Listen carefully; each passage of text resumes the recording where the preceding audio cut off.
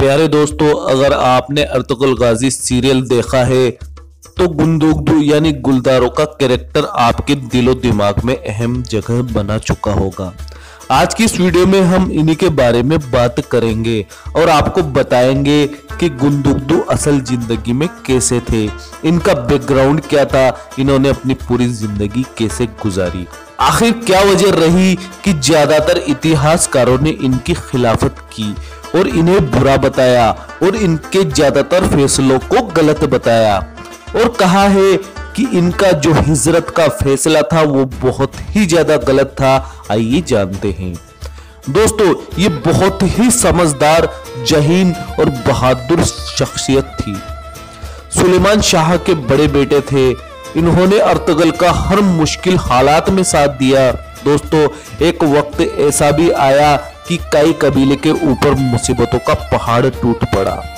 उस वक्त कबीले के कुछ लोगों ने वस्त एशिया की तरफ़ हिजरत करना चाहा। यानी कि वो चाहते थे कि हम जहाँ से आए हैं, वहीं चले जाए।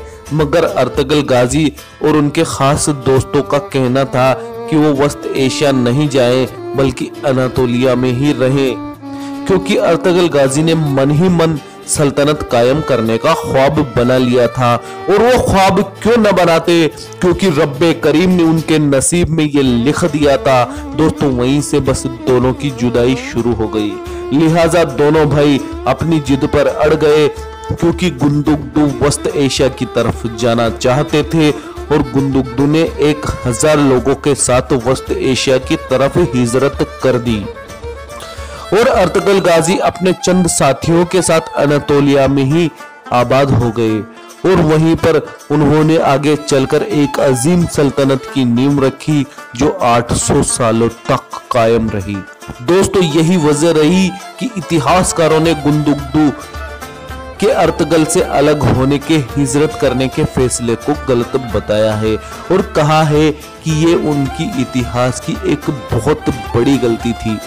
दोस्तों गुंदुगदू के बेटे सुलेमान ने भी शहादत नोश फरमाई थी और उनकी जोजा शहनाज खातून ने भी तारीख इस्लाम में अहम किरदार निभाया और अर्तगल के बेटे यानी कि उस्मान गाजी के दौर में भी एक जासूस बनकर काम किया। दोस्तों, आपको क्या लगता है, क्या गुंदुगदू के हिजरत का फैसला सही था या फिर गलत? कमेंट करके ज़रूर बताइएगा।